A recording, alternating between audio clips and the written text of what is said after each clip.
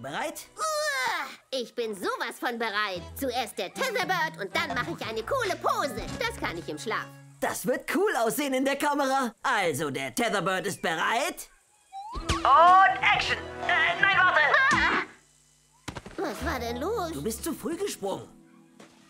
Okay, Take 2.